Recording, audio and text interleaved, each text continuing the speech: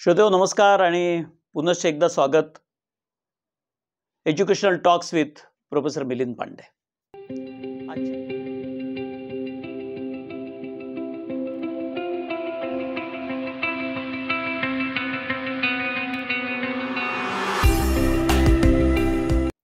आजच्या या एपिसोडमध्ये एका वेगळ्या विषयावर बोलणार आहोत.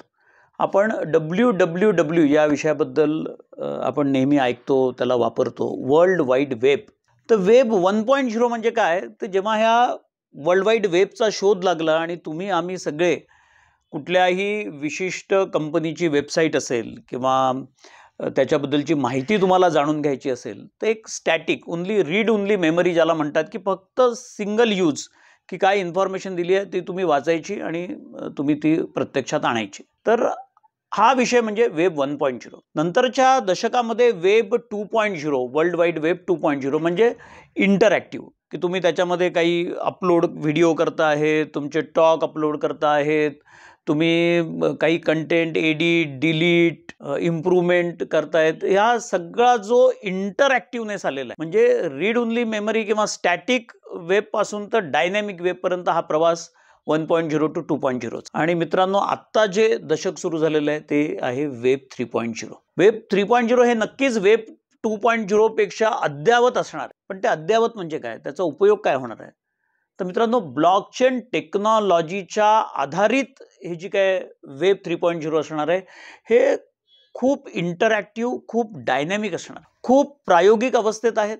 याला यायला अजून काही काळ जाऊ द्यावं लागणार आहे पण आज संपूर्ण जग हे वेब थ्री पॉईंट झिरोची चर्चा करत आहे तर वेब थ्री पॉईंट झिरो म्हणजे नेमकं काय? त्याच्यामध्ये वेगळं काय असणार आहे? तर त्याच्यामध्ये एक चार गोष्टी वेगळ्या असणार आहेत. त्याला आपण असं म्हटलं आहे की S S U G. S S U G म्हणजे काय? S social intelligence. सोशल इंटेलिजन्समध्ये आर्टिफिशियल इंटेलिजन्सच्या माध्यमातनं जो सोशल इंटेलिजन्स येणार आहे की तो डाटा सगळा फिल्टर होऊन त्यांचे content tailor made search result जे तुम्हाला मिळतात आणि युजरचा जो प्रिफरन्स असेल की मला उपयोगकर्त्याला काय वाटतं त्याच्या आधारित जी काही सिस्टीम डेव्हलप होईल त्याला सोशल इंटेलिजन्स असं म्हटलेलं आहे. दुसरं आपण म्हणतो की सिमॅन्टिक वेब म्हणजे लिंकेजेस बिटवीन वर्ड्स असा असा विषय आहे की study of the linkages between words हे जे आहे की कॉम्प्युटरला ॲनालाइज करायला टू ॲनालाइज द डाटा त्याला डिकोड करणं त्याचे मिनिंग आणि या web point three web three point झिरोचं वैशिष्ट्य असं आहे की इमोशन्स या तुमच्या डिकोड होणार आहेत.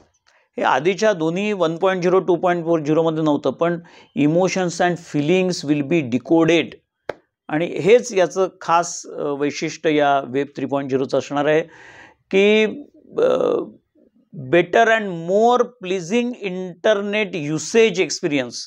या टेक्नॉलॉजीचं नाव आहे मित्रांनो सिमॅन्टिक वेब. त्याला म्हटलं आहे की युबी क्युटी असं म्हटलं आहे युबी क्युशस हे तिसरं की प्रेझेन्स अक्रॉस ऑल.